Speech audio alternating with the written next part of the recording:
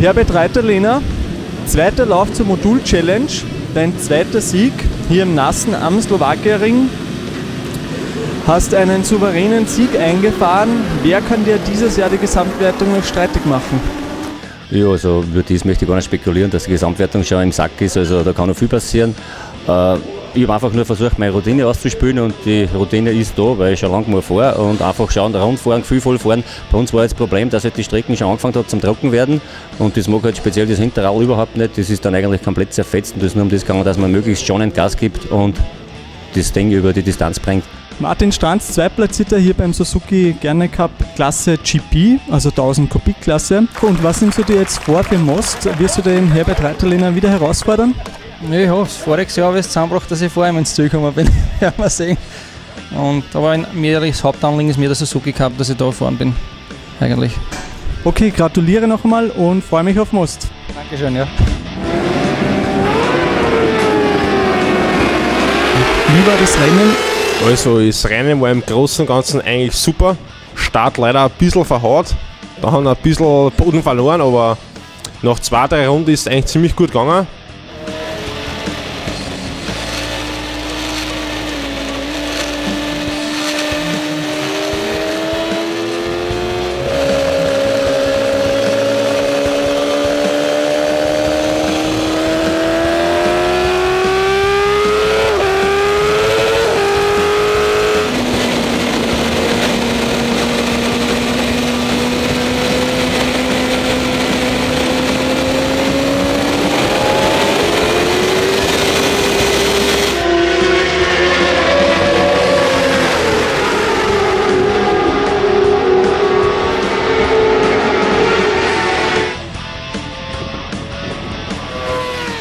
Wie hat dir heute das Rennen am Slowakiering als Zuseher gefallen?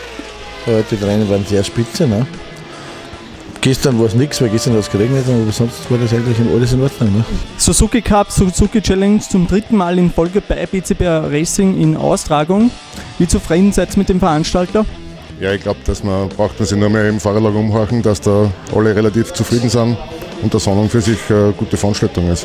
Marco Nekosil, äh, heute zu Gast bei BCB Racing, ist er eigentlich nur ein Gaststadt, weil du ja auf höherem Level normalerweise noch unterwegs bist, nämlich auf Profi-Level in der internationalen deutschen Meisterschaft. Wie geht's dir hier bei BCB Racing? Also natürlich sehr toll hier beim BCB, also tolle Atmosphäre. Wann wird denn dein nächstes IDM-Wochenende sein? Es sind drei Wochen am Sachsenring. Ist es schwierig, in Österreich solche talentierte Fahrer noch zu finden oder gibt es eigentlich genug und wir sollten nur mehr fördern? Na, genug gibt es nie.